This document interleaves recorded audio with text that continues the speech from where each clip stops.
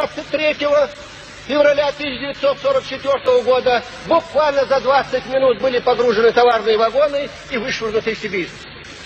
За время, которое мы были в пути, за время, которое мы были в Казахстане, чеченцы и ингуши, да и другие народы, в частности, мы потеряли 425 тысяч невинных жертв. Что же происходило в это время на самой территории Чечено-Ингушетии? Для того, чтобы стереть память этого народа, разрушались надгробные памятники, разрушались древние ихние башни боевые, которым даже удивляются и сейчас видавшие виды ученые. Была поставлена цель уничтожить память об этом народе раз и навсегда.